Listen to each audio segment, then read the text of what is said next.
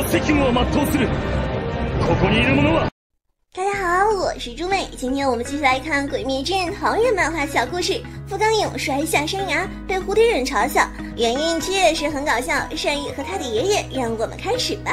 故事一：黑死毛和元一的对决。在一场大战上，纪国的两兄弟终于成了对手。已经变成恶鬼的纪国延生，哦不，应该叫做黑死毛， 对上了开创了日之呼吸的天才弟弟纪国元一。他们之间会发生什么呢？元一和黑死毛都做出了要战斗的姿势，异口同声说：“有胜了！”强大的力量交汇在了一起，整个战场都是硝烟弥漫。所以两者到底是谁更胜一筹呢？黑死毛使出了月之呼吸，六之行，长夜孤月，无言间。元一心神一滞，哇，竟然能一瞬间使出这种数量的斩击！元一的日之呼吸还在酝酿，黑死眸的月之呼吸八之行就要开始了。月之呼吸，各种招式使出。相较于场面上元一似乎一直在躲避，变成了恶鬼之后的黑死眸，果然强到了连元一都无法战胜的地步吗？元一又往后退了一步，终于决定反击。真是很厉害的技能啊，兄长！不断的释放着锐利的斩击，就算能预测最清晰的世界，持续交战也很困难，简直如同不让任何人接近的孤高的暗月。让你也见识一下我的力量吧！元一挥舞着刀法，使出了日之呼吸，烈日红镜。黑死毛很惊讶，对方的攻击和他势均力敌，把我的技能取消掉了。黑死毛继续使出了月之呼吸十之行，而元一也同样用日之呼吸来对付黑死毛的攻击。黑死毛清晰地感受到对方的强大，一边抵消我的技能，一边进行着日之呼吸的形态，多么强大的光芒啊！就像在黑死毛的脑海中浮现出了朝阳璀璨的形态。望着发出攻击的原因，黑死猫不禁感叹：“就像照破夜幕的朝阳，黎明的太阳，真出色呀！”而就在此时，原因也被哥哥黑死猫深深的吸引着。在他的眼里，兄长是更为夺目的存在。兄长，我的哥哥激光延寿，我是被你带来的光芒引导着，才认识了这个美丽的世界，广阔无垠啊！袁一的脑海中浮现出了哥哥带着伤来看望他，为他打开窗的画面。袁一的刀终于砍了上去，黑丝毛的刀断了。在黑丝毛巨大的缩额中，他的头被砍下了。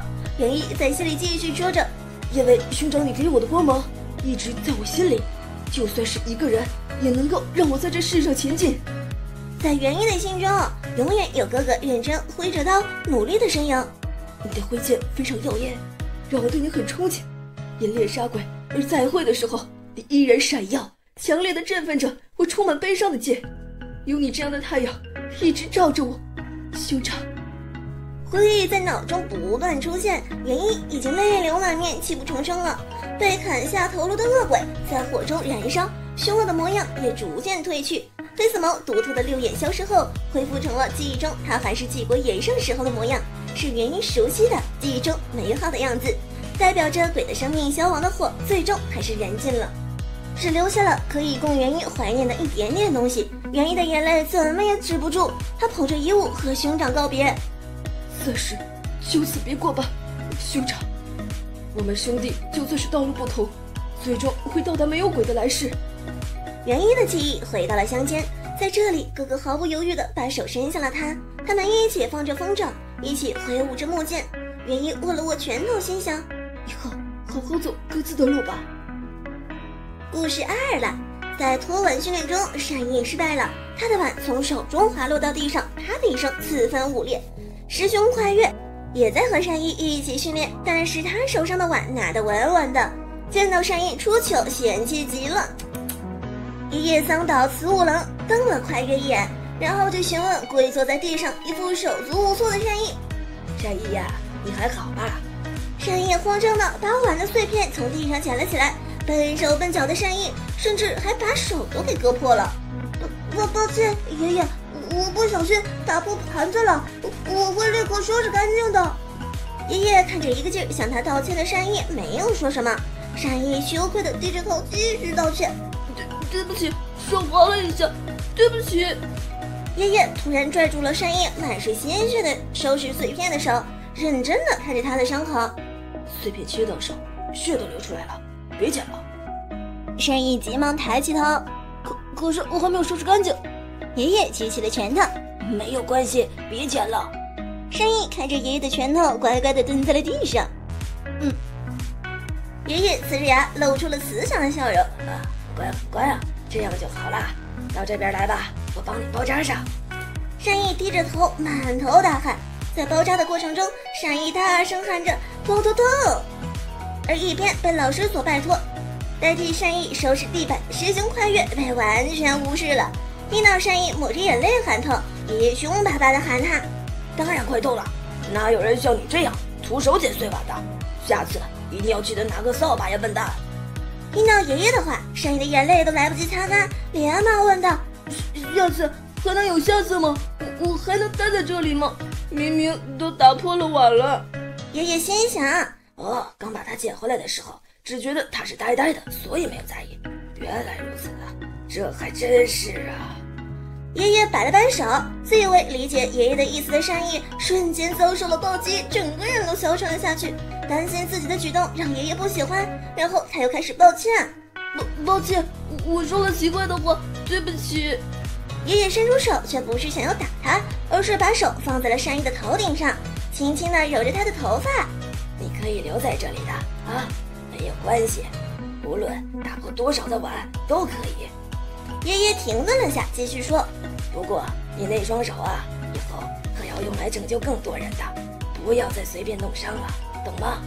善意还挂着眼泪，虽然对爷爷的信任感到十分的疑惑，但还是回答：“是。”爷爷的内心也没有在善意面前表现的那么淡然，心想：“哎，这还挺棘手的呢。”就这样，善意通过爷爷的鼓励，慢慢的加入了鬼杀队，成为了一名合格的鬼杀队成员。一天，善意拎着这一包东西突然出现，爷爷，出任务的地方就在这附近，所以追吃路来了。我买了土特产，我们一起吃嘛。善意一边吃着丸子，一边讲述着自己的经历。然后，然后啊，我起来发现鬼已经被打倒了，吓了一跳呢。我总是受人帮助，却不知道那人是谁。一直在认真听着的爷爷。大声喊了一声：“山一！”山一看见爷爷伸过去一只手，有些疑惑，他把头凑了过去：“呃，你要给我摸头吗？”爷爷的眼神瞬间就变得慈祥，他用手勾着已经长大了山一的头，一下一下的抚摸着：“乖啊，乖，这样就好啊。”五十三，风刚勇和蝴蝶忍在临水的别墅内，突然传来了敲门的声音。屋内的富冈勇回应道：“好，请进吧。”蝴蝶忍笑眯眯走了进来。今天的情况怎么样啊？服药没有中断吧，富冈？富冈勇脸色十分的糟糕，连说话都有些艰难了。头头头好痛。看起来是呢。所以为什么变成这样了？是因为出现了能对水柱造成如此重伤的鬼吗？应勇抬起头否认道：“那种情况，不不。”蝴蝶忍却装作没有明白应勇的意思，一边拿着绷带，一边给他包扎，询问道：“到底是怎么了嘛？”